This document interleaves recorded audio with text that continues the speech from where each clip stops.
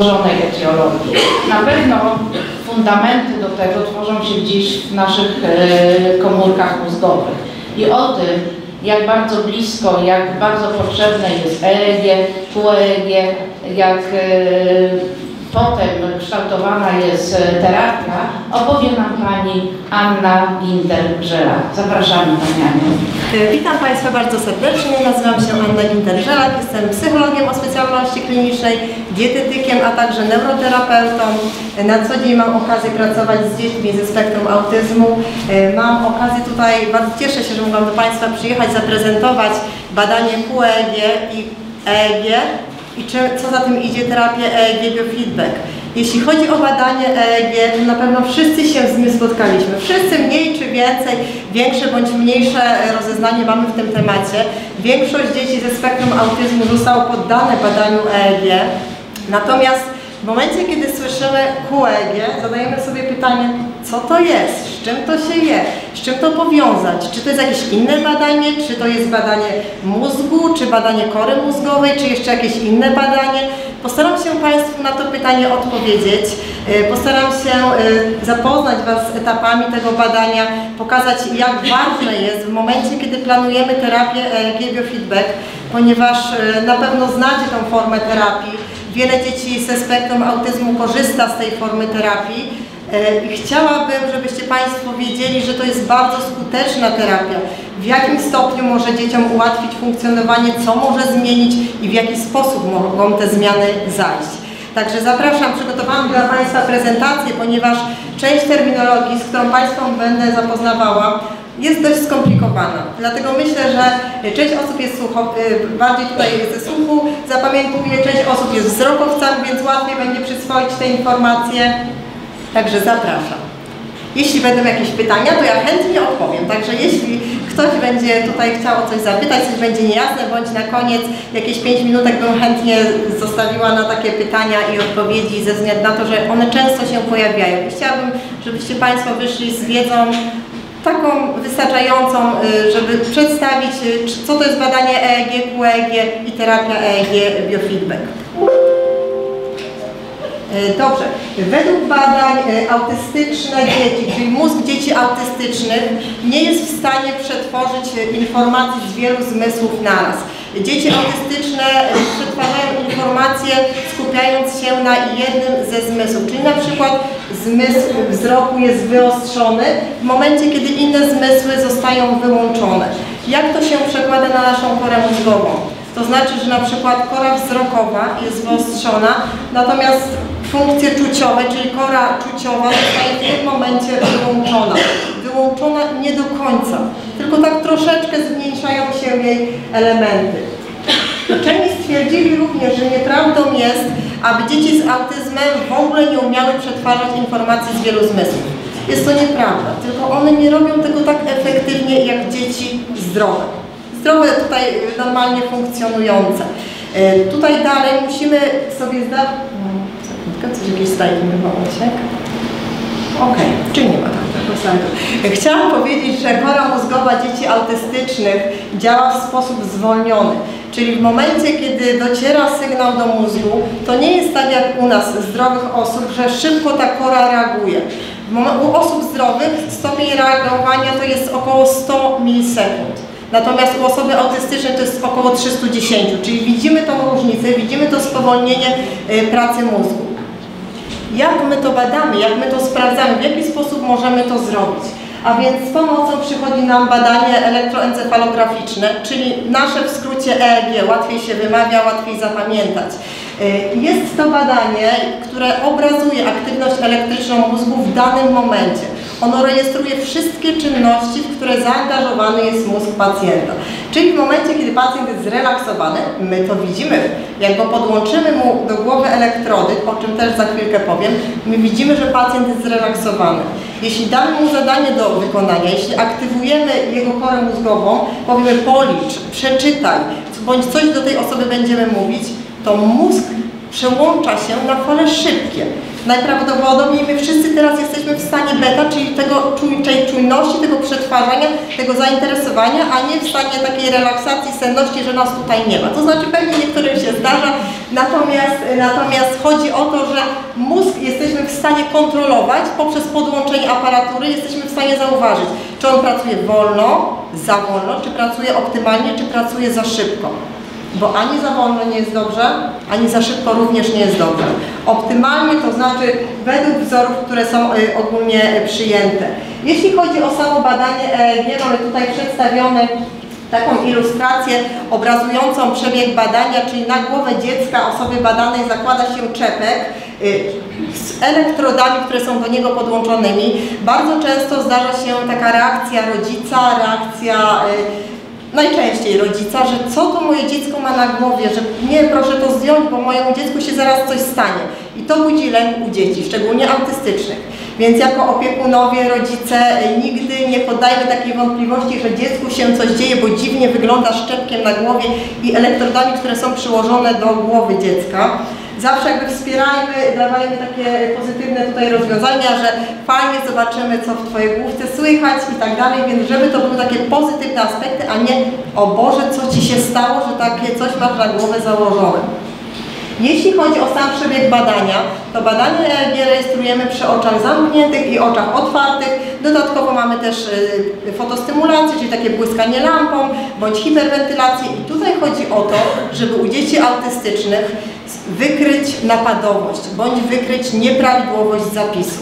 Bo często zdarzy się, że u dziecka y, autystycznego, ale i u osoby zdrowej, która ma epilepsję, czyli już niezdrowej, y, osoby osoby z epilepsją, zwykłe podłączenie, czyli przyklejenie elektrod do skóry głowy nie pokaże nam napadowości, nie pokaże nam różnego rodzaju nieprawidłowości, ale już pomruganie lampą dziecku przed oczami aktywuje ten mózg i powstaje ta zmiana.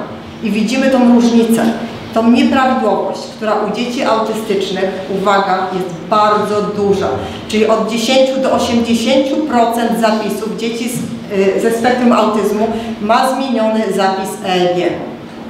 Zmieniony zapis EEG widzimy jako nieprawidłowość.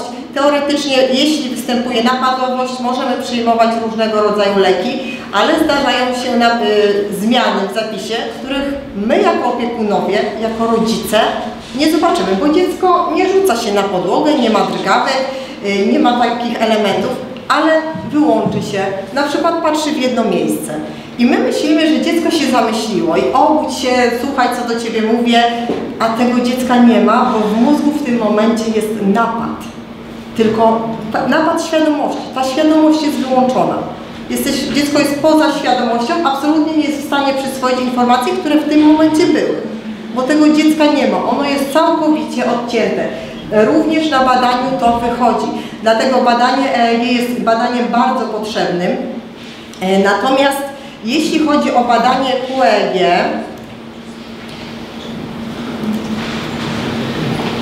jeśli chodzi o badanie QEG, dobrze, słucham? Pytanie poprzedniego. Tak? W tym stanie napadku, gdy dziecko odpływa, pojawiają się jakieś myśli, czy jest totalna pustka? E, To znaczy, jeśli raczej myśli się nie pojawiają, dziecko odpływa tak bardzo, że nie jest w stanie rejestrować coś w tym momencie, a nawet jeśli to się dzieje, my tego nie widzimy. Dziecko absolutnie nie powie nam, wracając, jak już za chwilkę ten napad przejdzie, co działo się w tym momencie. Nie Absolutnie. Nie, nie ma świadomości. Świadomość jest wyłączona. Także tutaj y, nie, nie zapytałem dziecka, a gdzie byłeś, co w tym momencie myślałeś, tak dalej. Nie. Dziecko absolutnie nie będzie wiedziało. Y, Tak y, abstrahując jeszcze od dzieci, bardzo często osoby dorosłe, które mają y, częste słuczki, częste wypadki, nie wiedzą dlaczego, dlaczego ten wypadek był, dlaczego on się zdarza jeden za drugim. No to są właśnie te chwilowe wyłączenia, które my w momencie, kiedy robimy badanie EEG, a co za tym idzie QEG, które nam pokazuje te zwolnienia, tak bardzo charakterystycznie policzbowo, pokazuje nam, że faktycznie to jest przyczyna. I my za pomocą terapii EEG biofeedback, o której sobie dalej powiemy, jesteśmy w stanie regulować korę mózgową. Jesteśmy właśnie w stanie wygaszać te połączenia, te aktywności wolne, bo dziecko jak się zamyśla, ta świadomość ucieka, to taka góra stety nam się buduje. I my jesteśmy w stanie za pomocą terapii uciąć tą tetę, zminimalizować, zmniejszyć. I te wyłączenia świadomości już później się nie zdarzają. Także tutaj y, terapia EEG biofeedback ma y, ogromne znaczenie, ale podstawą jest diagnostyka. Ja powtarzam to jak mantrę i pewnie dzisiaj też powtórzę kilka razy, że jeśli y, zamierzamy wysłać dziecko na terapię EEG biofeedback, a nie jest przeprowadzona diagnostyka QEG, o którym za chwilkę powiemy, co to jest to QEG, to pozbawione jest to sensu. Przepraszam za to, co powiedziałam. Natomiast naprawdę potrzebna jest diagnostyka. To tak jakbyśmy chcieli podać leki, y, ale nie wiedzieli, czy mamy rozregulowane hormony, czy nie. Ale byśmy te hormony chcieli podać. Więc bardzo ważna jest diagnostyka. W pierwszej kolejności diagnostyka, następnie prowadzona y, terapia. Jeśli chodzi o samo badanie QEG, co to jest? Jest to dokładnie to samo badanie EEG, czyli procedura jest ta sama. Zakładamy czepek, elektrody na głowę, szczytujemy sygnał, rejestrujemy go w komputerze, tylko co dalej? Dalej mamy ogromne możliwości, ponieważ program przelicza nam matematycznie sygnał EEG i pokazuje nam go w postaci tabeli.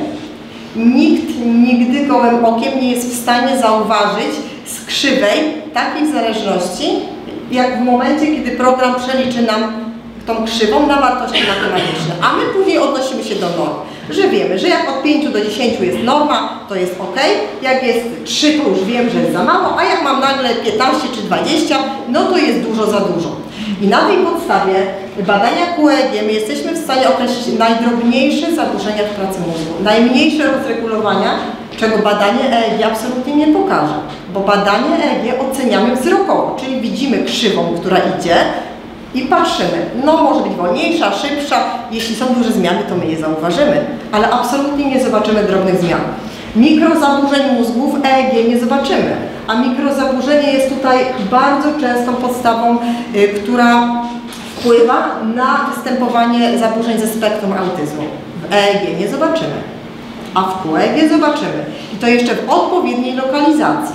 Także badanie QEG, pamiętajcie, jest podstawą do wysłania dziecka na terapię EEG biofeedback. Dopiero jak mamy takie badanie, wiemy w którym miejscu kora jest rozregulowana, powinniśmy poddać się y, terapii. Y, Co nam jeszcze może pokazać badanie QEG? Czy mamy predyspozycję do występowania zaburzeń depresyjnych, czy nie? Czy w chwili obecnej występuje depresja, czy nie? Czy właśnie występują zaburzenia autystyczne, czy nie? Czy labilność emocjonalna u dziecka występuje, bądź czy ma takie predyspozycje? Czy zachowania opozycyjne, buntownicze występują? Czy y, obsesyjno-kompulsywne? My jesteśmy w stanie tym badaniem zdiagnozować mnóstwo zaburzeń.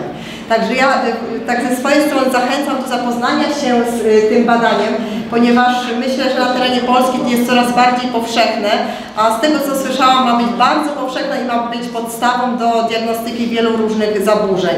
Jeśli chodzi o dysleksję, dysortografię, również jesteśmy w stanie diagnozować za pomocą badania QEG, czyli przykładamy czepek elektrod do skóry głowy, szczytujemy, mamy tabelę z wynikami i na tej podstawie stwierdzamy, jest, nie ma, jest, nie ma dane zaburzenie.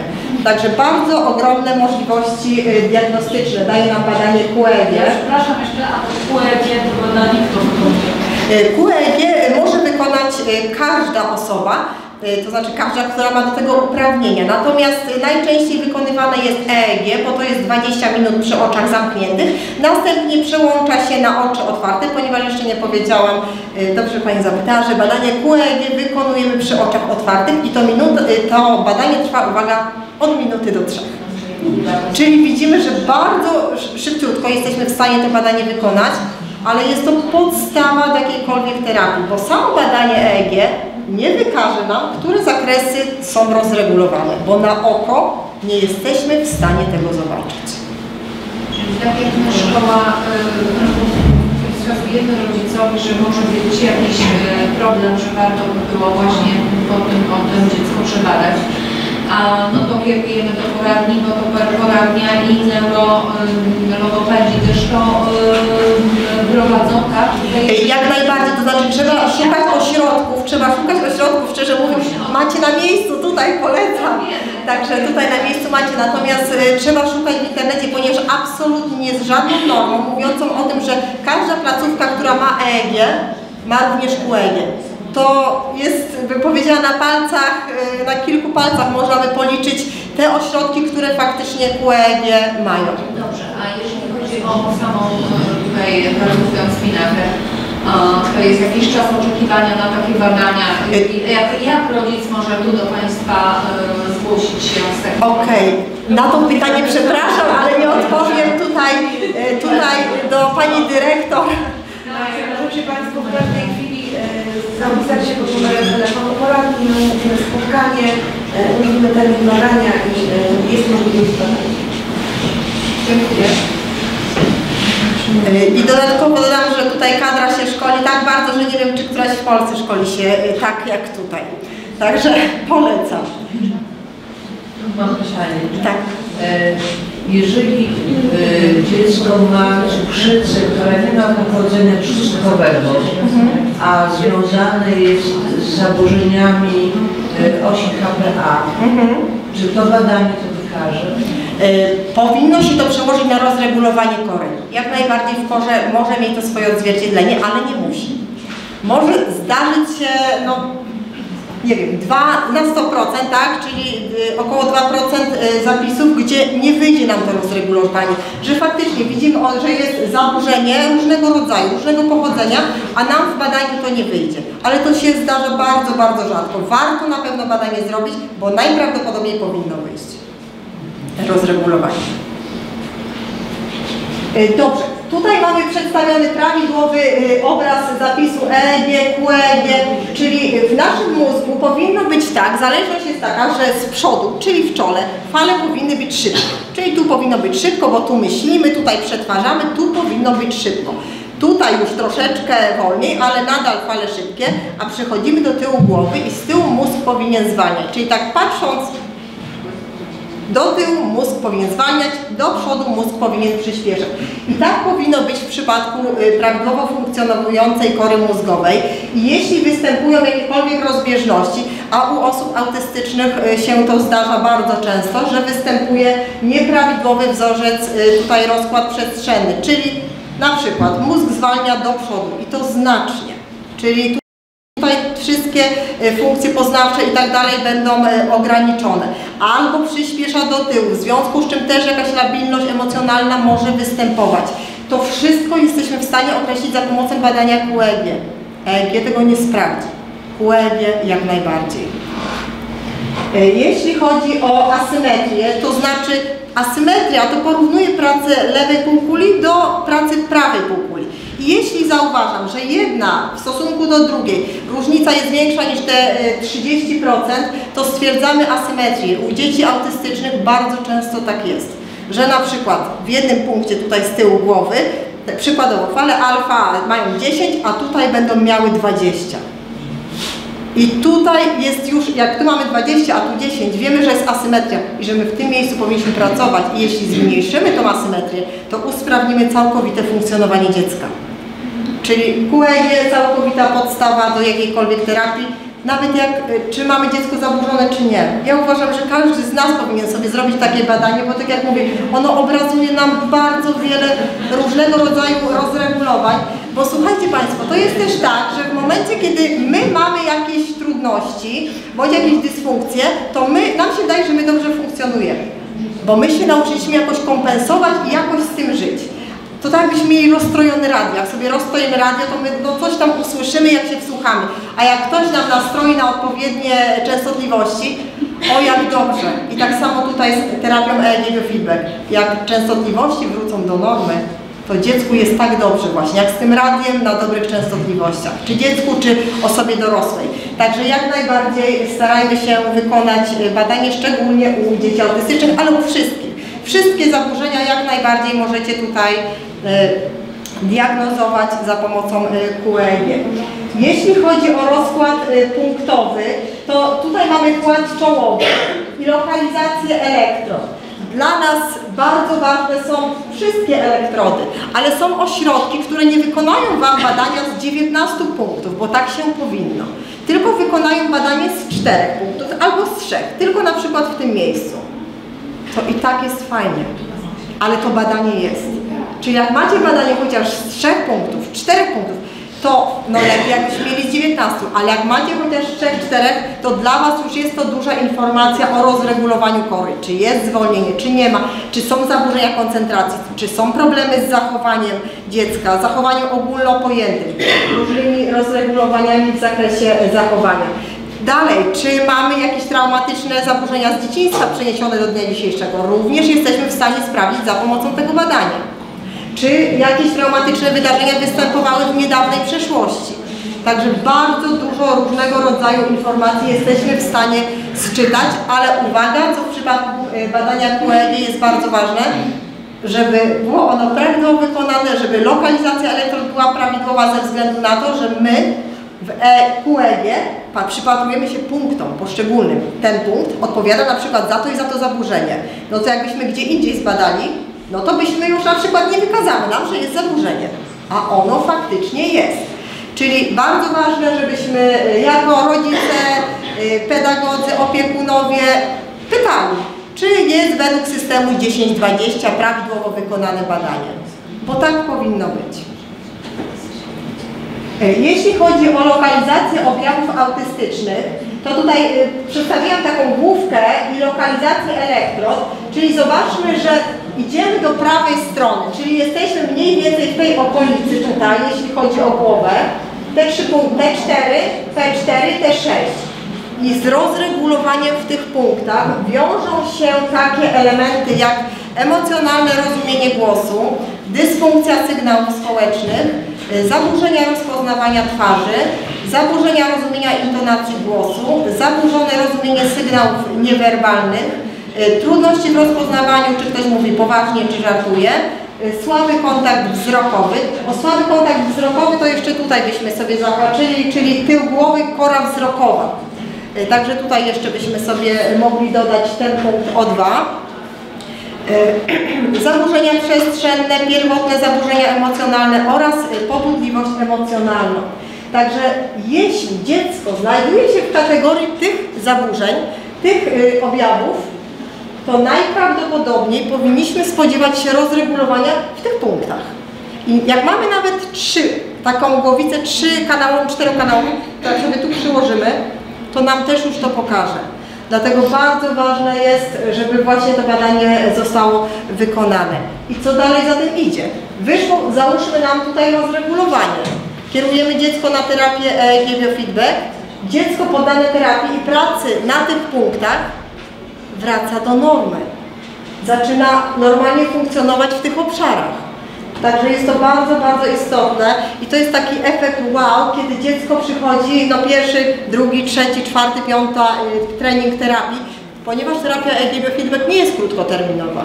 I jak ktoś Wam powie, że jest, to nie jest, to nie słuchajcie, nie ma takiej możliwości. Terapia biofeedback musi być co najmniej 30 treningów, przy dużych zaburzeniach 60 treningów takich terapii. Natomiast jest trwała, jest skuteczna i daje takie namacalne faktycznie, e, że mojemu dziecku się poprawia. Moje dziecko miało problem z którymś z tych objawów, a teraz jest ok. Teraz wraca do funkcjonowania. Także jeszcze jedna sprawa, ale w tych obszarach, czyli jak tu jest rozregulowanie, to ja tu mam pracować, a nie tutaj na przykład tylko tam, gdzie jest rozregulowanie w korze. Czyli moje badanie, moje badanie QEG polega na tym, żeby na korze mózgowej znaleźć punkt, gdzie jest rozregulowanie i w tym miejscu skupić swoją pracę terapią EEG biofeedback. W tym miejscu prowadzimy y, protokoły, prowadzimy wzmacnianie bądź hamowanie poszczególnych zakresów fal mózgowych, przywracając dziecko do y, normy. Jeśli chodzi o... Okej. Mam pytanie. Dzieci z alkoholowym zespołem płodowym Mhm. Mają mało głowy. Czy dla nich są specjalne czepki, które mają inne... Dobra. To znaczy, jeśli chodzi o czepek, to nie będzie żadnego problemu ze względu na to, że jeśli wykonywane jest EEG, to jest na czepku żyłkowym, a czepek żyłkowy jest regulowany, to nie jest czepek taki y, siatkowy nakładany na głowę, tylko, czy automatyczny, tylko jest to czepek żyłkowy. A czepek żyłkowy można sobie w każdą stronę regulować i ustawienie elektrod regulować. Także nie będzie, osoba technik, który będzie wykonywał badanie na pewno będzie wiedział jak to wykonać, bo y, patrząc nawet na głowę, jeśli ona jest malutka, czy ona jest, y, nie jest symetryczna, to i tak będzie wiedział jak te elektrody założyć, ponieważ nie jest to automatyczny czepek. Gdyby był automatyczny, byłby problem.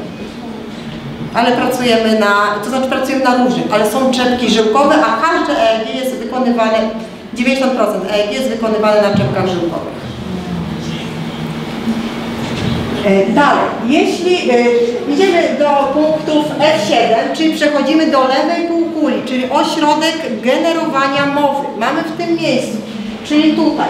Dalej punkt T3, T5, czyli ośrodek rozumienia mowy. Czyli te funkcje też u dzieci czasami są, często są zaburzone, czyli zaburzenia przetwarzania słuchowego, zaburzenia rozumienia mowy, społeczne zaburzenia emocjonalne, unikanie kontaktu, kontaktów społecznych, y, zaburzone uczenie się nowych słów, wstydliwość, nieśmiałość. I tego wyszukujemy się w tych punktach. Doszukujemy się. Znajduje, robimy badanie, znajdujemy rozregulowanie, super, udało się. Czyli w tym miejscu prowadzę terapię, poprawiając dziecku funkcjonowanie w tym obszarze. E, Następnie zaburzenia integracji sensorycznej, czyli pas ciemieniowy, czyli tak mniej więcej w tym miejscu i tutaj, czy dziecko jest autystyczne, czy nie. Będzie wychodziły, będą wychodziły nam zaburzenia e, integracji sensorycznej właśnie w tym miejscu, czyli tutaj kora czuciowa, tak? Czyli zaburzenie czucia głębokiego, powierzchniowego będzie przedstawiało się również w tych e, punktach. Zaburzenia snu, które u dzieci autystycznych bardzo często też występują, będą miało odzwierciedlenie w tym punkcie, czyli w PZ. Czyli wiem, że dziecko zgłasza się z zaburzeniami snu, sprawdzam sobie ten punkt. I najprawdopodobniej tu mi wyjdzie rozregulowanie, tu pracuje, dziecko śpi spokojnie. Nie wybudza się, nie przebudza, nie ma problemów z zaśnięciem. Także kwestia diagnostyki, gdzie jest rozregulowanie i pracy w tym punkcie. Wszystkich elementów bądź po, poszczególnych elementów z tej listy, czyli impulsywność, zaburzenia koncentracji uwagi, nieprzestrzeganie norm, to wszystko będzie tutaj uwidocznione w naszym badaniu. Także widzimy, że jest szeroki wachlarz możliwości badania diagnostycznego, co za tym idzie terapeutycznego dla dziecka, bo tak się mówi, terapia, jego feedback, e, no, pomaga, nie pomaga, różne są opinie na ten temat. Natomiast jeśli będzie przeprowadzona najpierw poprzedzona diagnostyczka, diagnostyką, diagnostyka, terapia, to zobaczycie, że efekty będą po prostu takie wow, że to jest po prostu niewiarygodne. E, Ok, czyli to były punkty i lokalizacja.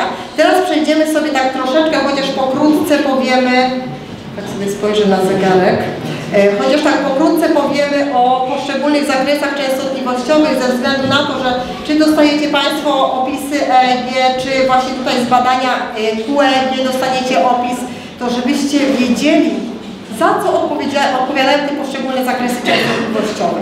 Tak jak ja powiedziałam, że ten albo się ktoś zamyślał, tak? To żebyście wy też to wiedz- żebyście wiedzieli o tym, żebyście miały tak, mieli taką e, wiedzę.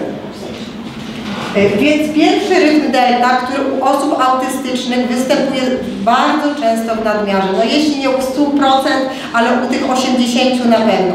Czyli y, możemy się spodziewać, że badając dziecko autystyczne spotkamy się z występowaniem nadmiernej ilości rytmu delta. A rytm delta jest najwolniejszym potencjałem, czyli mózg bardzo, bardzo zwalnia. Tak bardzo, że w momencie, kiedy robimy takie punktowe badanie, to w niektórych, y, niektórych punktach widzimy tak duże zwolnienie wskazujące na strukturalne uszkodzenie mózgu. I my, pracując w tym miejscu, to znaczy pracując, zmniejszając y, amplitudę tej delty, jesteśmy w stanie usprawnić funkcjonowanie tego obszaru. Także my, terapeuci, my, wy, y, różne grupy, jesteśmy w stanie zmniejszyć tą deltę. Tak samo... Czy to jest zmiana y, nieodwracalna, to znaczy zmniejszenie tego, no deficytu? Y, Tak, ta, te zmiany są trwałe, czyli to nie jest tak, że y, chodzi dziecko 20 razy, przychodzi czy 30 na terapię, zmniejszymy poziom delty i po pół roku z powrotem ta delta wzrasta. Nie, natomiast jest warunek. Dziecko musi uczęszczać, systematycznie. To jest klucz i podstawa całej terapii. Jeśli dziecko nie będzie chodziło systematycznie, absolutnie nie możemy się spodziewać, że będą jakiekolwiek efekty. No bo tutaj tworzymy nowe połączenia neuronalne i wygaszamy te, które już istnieją, a są niepożądane. I jeśli jest taka częstotliwość minimalna raz na 10 dni, przerwa nie może być dłuższa. Czyli jeśli będziemy robić przerwy dłuższe niż raz na 10 dni, terapia nie będzie efektywna. Tak, bo tylko, tak, bo się nie zapisało, dokładnie można tak powiedzieć, bo się nie zapisało. A czy są dzieci, które mają prawidłowe, autystyczne dzieci, które mają prawidłowe wyniki w tym badaniu? To To na przykład e, to badanie e, też może posłużyć przy pomocy w diagnozie dziecka autystycznego? bardzo może posłużyć. Bardzo może posłużyć, tylko musimy wiedzieć, na którą lokalizację punktów spojrzeć. Tak jak te główki były przed chwilą pokazane, to tam kierujemy naszą uwagę, bo czasami jest tak, że osoby wykonują badanie tylko tutaj. I tu wyjdzie wszystko idealne. U, dziec- u dziecka autystycznego i z obniżonym intelektem wyjdzie na przykład tutaj wszystko ok. Ktoś powie, nie widzę zmian. W sumie nic nie wyszło w tym badaniu. No to jeszcze zbadaj te punkty. No i w tych punktach Ci wyjdzie rozregulowanie. Czyli jak najbardziej, to, jest takie, to są takie charakterystyczne punkty dla zaburzeń autystycznych.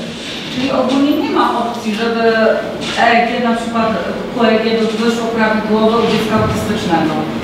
EEG często wychodzi prawidłowe, Myślę, a QEG, tak powiedziałam wcześniej, że około 2% może to jest, może to jest procent z kawałkiem. Może się tak zdarzyć, ale to są tak bardzo rzadkie przypadki, że no, aż się o nich nie mówi. Natomiast w EEG bardzo często jest zapis w granicach normy, tak? U dzieci autystycznych. Dobrze, czyli to był najwolniejszy potencjał, który w przypadku osób autystycznych y, jest do hamowania, czyli do zmniejszania. Spektrum rozkładu prawidłowo powinno wyglądać w ten sposób, czyli taka skocznia małysza, ja to tak nazywam, czyli y, od największej do najmniejszej. Tutaj to w ten sposób powinno wyglądać. Jeśli my na takim spektrum widzimy gdzieś, że nam się buduje góra, tu czy tu, to z automatu jest to dla nas informacja, że tu jest, jak gdybym tu miała taką górę, że to jest rozregulowanie. Jakby mi tutaj się zwiększyło, no to że tutaj jest rozregulowanie. I też, bo my mając nasze badanie QEG nie tylko mamy tabele, nie tylko mamy liczby, mamy różnego rodzaju wykresy, mamy różnego rodzaju główki, takie mapki, które też ogniskują nam de facto to samo, co mamy w tabelach, ale tak bardziej graficznie obrazują, że łatwiej się po prostu na to y, patrzy. Jako ciekawostkę jeszcze powiem, że na przykład y, wykonując takie badanie QEG przy oczach zamkniętych i przy oczach otwartych, porównując tą zależność, jesteśmy w stanie stwierdzić, czy osoba jest podatna na hipnozę, sugestię oraz sprzedaż bezpośrednią. To znaczy, komu możemy sprzedać więcej, tak? Także tutaj możemy, możemy taką informację uzyskać. Idziemy do następnej częstotliwości, czyli częstotliwość teta. Tak jak powiedziałam, to jest częstotliwość, w której odpływamy, te myśli uciekają, zawieszamy się. Bardzo często w przypadku uczniów, y, już nawet nie ze spektrum autyzmu, tylko na lekcji y, nauczyciel, pedagog zauważy, że dziecko się zamyśla, ucieka, no i tak, y, no chodź tu, tu jestem i tak dalej, bądź tu i teraz. A to dziecko robi to mimowolnie. To nie, że a pomyślę sobie teraz, nie wiem, co tam na obiad sąsiadka będzie miała. Tylko to jest automatycznie, mózg się wyłącza, przechodzi w stan teta. Czyli nieświadomie. Wówczas takie dziecko również po poddane, poddaniu się terapii EEG feedback nie ma tych momentów wyłączania. Czyli na lekcji jest uważne, bez wyłączania się. Y, Ale, ale, teta to nie tylko samo zło. Odpowiednia ilość tety potrzebna jest do na przykład prawidłowego zapamiętywania bądź do prawidłowej odporności immunologicznej. Także, także kontrolowania progu bólu. Progu bólu. Także teta jest zła, jeśli mamy jej za dużo. A jak mamy ją w normie, to ona jest bardzo dobra. I to zapamiętajmy, dobrze, że teta jest ok, jeśli jest w granicach normy. Natomiast jeśli jest jej za dużo, będzie przyczyniała się do różnego rodzaju e, nieprawidłowości, takich jak zaburzenia uwagi, dekoncentracja, również zaburzenia depresyjne, zamknięte uszkodzenia głowy, epilepsja, wyłączanie się, odpływanie i mikrouszkodzenia mózgu. Oczywiście terapią EEG biofeedback jesteśmy w stanie TT zmniejszać, czyli jeśli zarejestrujemy, że jest ich za dużo, jesteśmy w stanie tak pracować, żeby ją zmniejszyć. E, Następnie przechodzimy do kolejnej częstotliwości, czyli alfy. Jest to częstotliwość odpowiedzialna za relaksację. I u osób, u których zarejestrujemy zbyt niski poziom tej częstotliwości, bardzo często występuje wyczerpanie psychofizyczne, y, podatność na stres, podatność na uzależnienia. O, Kolejną rzeczą, którą jesteśmy w stanie wyczytać z QEG jest podatność na uzależnienie bądź jego występowanie za pomocą tej częstotliwości właśnie alfa. E, Więc alfę możemy sobie podzielić na takie dwa, e, dwa e, zakresy, czyli alfę niską, alfę wysoką. I ta niska alfa odpowiedzialna jest za taką relaksację, ale te myśli też uciekają, odpływają, natomiast w alfie wysokiej kreatywność, innowacyjność myślenia y, u sportowców, żeby zwiększyć czujność, właśnie przeprowadza się trening alfy. I tak też jako ciekawostkę Adam Małysz tuż przed zdobyciem swoich szczytowych osiągów również był podany terapii biofeedback i właśnie miał trenowaną alfę w tym wysokim zakresie. Podziałało, podziałało, efekty były. Także nie tylko terapia biofeedback dla dzieci zaburzonych, ale dla usprawnienia poszczególnych y, uzdolnień również. E, I idziemy sobie do kolejnego e, zakresu, czyli SMR. I to zapamiętajcie, dzieci autystyczne e, ze spektrum autyzmu, rytm SMR, czyli rytm sensomotoryczny mają prawie zawsze za niski. I w związku z tym bardzo często powstaje też zaburzenie, bo jeśli ja mam niski SMR, to znaczy rytm sensomotoryczny, to nieprawidłowo odbieram bodźce, nieprawidłowo je przetwarzam, w związku z czym nieprawidłowo reaguję. Czyli rytm SMR odpowiada za właśnie przetwarzanie, odbiór i re- reakcję na bodźce przez wszystkie pięć zmysłów. Jeśli mamy prawidłowy poziom tego rytmu, wiążemy go ze stanem relaksacji z zachowaną uwagą, z prawidłowym snem i to, co powiedzieliśmy wcześniej o śnie, czyli u dzieci autystycznych sen bardzo często występują różnego rodzaju zaburzenia. Co robimy wtedy? Podnosimy SMR, przywracając dziecku prawidłową architekturę snu. To dziecko może spać wtedy spokojnie, bez wybudzeń, bez y, problemu. Okej, teraz idziemy do bety jedynki, czyli stan, mam nadzieję, że jesteśmy w becie jedynce, tak? Czyli stan psychiczny ukierunkowany na zewnątrz, czujność. Aktywne rozwiązywanie zadań, również tutaj skupienie uwagi, koncentracja, y, podczas y, aktywności z zewnętrzną uwagą, ale uwaga po zażyciu też niektórych leków. Czyli czasami będzie zdarzało się tak, że wykonujecie badanie QEG, dziecko przyjmuje leki, no i zawyży Wam betę jedynkę, powiecie, o dziecko się dobrze koncentruje, a ono przyjmuje lek. Więc przed poddaniem się badaniu musimy zrobić listę leków i przedstawić osobie, która to badanie będzie analizowała, interpretowała, żebyśmy wiedzieli, że to jest działanie mózgu, a nie leku, który został przyjęty i zmienił nam pracę mózgu. E, Taka jeszcze ciekawostka, że na przykład u dzieci e, autystycznych bądź z ADHD z nadpobudliwością, jeśli ta beta jedynka jest w normie i damy takiemu dziecku słodyczy, to ta beta jedynka się bardzo podnosi i będzie występowała nadpobudliwość, nadruchliwość i to bardzo dużo. Czyli tutaj w becie jedynce również jesteśmy w stanie odczytać takie informacje. E, I idziemy do naszej ostatniej, e, od naszego ostatniego zakresu częstotliwości, czyli beta dwójka. Przez wszystkich, e, bym powiedziała, znienawidzona, stresowa, nikt jej nie lubi. Czyli jesteśmy w stanie stwierdzić, czy w organizmie pacjenta, dziecka występuje nadmiar bety dwójki, czyli czy dziecko jest zestresowane, czy występuje stres chroniczny, skumulowany w ciele, który za chwilę da nam objawy somatyczne, czy nie. Jesteśmy w stanie to sprawdzić. Nie to, że dziecko nam mówi, ja się stresuję, ja się stresuję, ja się stresuję. My jesteśmy w stanie sprawdzić, czy to dziecko się stresuje, czy ono po prostu tak nauczyło się powtarzać, że się stresuje. Są dzieci, po których absolutnie byśmy nie powiedzieli, że się stresują, wykonujemy badanie, a tam wychodzi tak wielki stres chroniczny. I ja to tak porównuję zawsze do łańcucha, że to są takie napięte ogniwa. Czyli im większy poziom stresu i zawsze gdzieś pęka. I tam powstanie stan chorobowy. Później się dziwimy, skąd się wzięła ta czy ta choroba. Właśnie jesteśmy w stanie to wyczytać w naszym badaniu. No pytanie, czy były robione może jakieś badania dzieci przebywających w domu dziecka? E, Nie mam takiej wiedzy. Nie wiem. Chociaż e, wiem, że było e, u, dzieci w domu, nie pod kątem bety dwójki, natomiast były robione badania e, a propos właśnie tych zaburzeń przeniesionych z dzieciństwa. Właśnie u dzieci z domu dziecka. To te badania były wykonywane. Natomiast stricte na samą betę dwójkę e, nie wiem. Nie słyszałam.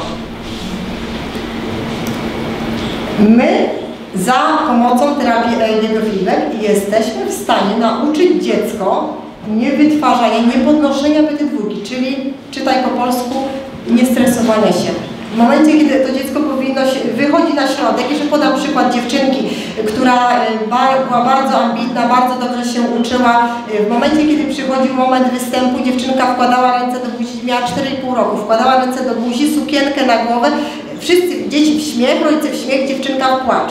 To się powtarzało kilkukrotnie, miała już nie występować, ale zawsze obiecywała, że ona już nie będzie. I nie będę i daję jej szansę. Dostawała szansę i robiła to samo. Ja ją przyjęłam na terapię, miała 4,5 roku. E, Po trzech miesiącach terapii dziewczynka zajęła pierwsze miejsce w takich w Domu Kultury w Świerszczykowie w Wierszykach, nawet nagrodę Grand Prix zdobyła. Więc jesteśmy w stanie dziecko nauczyć kontrolowania reakcji stresowej nie poddawania się jej. Dziecko czy dorosłego, czy my wszyscy jesteśmy w stanie poddać się terapii jak feedback nauczyć się kontrolowania reakcji stresowej. Czy przed wystąpieniami publicznymi, czy przed y, innymi y, elementami y, naszego życia, które nas najbardziej stresują. Dobrze, czyli poprzez obniżenie takiej bety dwójki, tej niekorzystnej częstotliwości, zmniejszamy stres, zmniejszamy napięcie emocjonalne i zwiększamy możliwości intelektualne. E, Tutaj już o tych punktach sobie mówiliśmy. Nie wiem, ile mamy jeszcze czasu. Jeszcze mamy, tak? Ja nie mamy już czasu. A to to sekundę, to zaraz tu popatrzę, co jeszcze, tylko chciałabym jeszcze pokazać. Dobrze, tylko dwa słowa jeszcze o terapii EEG biofeedback, bo e, na pewno część osób wie, jak, e, na czym ta tera- terapia polega, część osób nie wie, na czym polega, więc jest to, pacjent ma podłączone elektrody do skóry głowy, te same elektrody, które miał podczas badania EEG, czyli szczytują sygnał z mózgu, sygnał idzie do głowicy, z głowicy do komputera terapeuty, z komputera terapeuty idzie na monitor pacjenta i pacjent w czasie rzeczywistym widzi na monitorze stan swojego mózgu, ale jak go widzi? W postaci gry planszy, czyli na przykład ma za zadanie utrzymać wszystkie trzy kulki na górze ekranu. Jak, jak się będzie koncentrował, pierwsza kulka będzie na górze. Jak nie będzie się zamyślał, druga kulka będzie na górze. Jak nie będzie napięcia e, e, takiego stresowego, trzecia kulka będzie na górze. I on musi swoim stanem, metodą prób i błędów dojść do tego, co zrobić, jakie, jak te częstotliwości wytworzyć, żeby utrzymać wszystkie trzy kulki na górze. I za to dostaje punkt. I w ten sposób, punkt za punktem, pacjent uczy się wzmacniając poprzez warunkowanie instrumentalne, wytwarzania, generowania odpowiednich wzorców fal mózgowych. Także to nie jest tak, jak y, może niektórzy myślą, że podłączamy elektrodę i wgrywamy my teraz. Ucinamy TT, zwiększamy SMR, to tak się nie odbywa. Wszystko, cała terapia EEG, szkoda. No może szkoda, może nie, natomiast cała terapia EEG biofeedback bazuje na procesie uczenia się na warunkowaniu instrumentalnym, czyli nagroda, kara. W momencie, kiedy pacjent nie potrafi uzyskać prawidłowych częstotliwości, dostaje karę, ale karę nie do konta, tylko karę nie mam punktu, albo plansza mi się rozjeżdża. A moim celem jest uzyskanie optymalnej planszy i uzyskanie jak największej ilości punktów. I tak tylko podsumowując, żebyśmy wszyscy zapamiętali, że najpierw diagnostyka, później terapia EEG feedback jesteśmy w stanie pomóc multum dzieci z różnego rodzaju spektrum rozregulowania kory mózgowej. I dziękuję bardzo.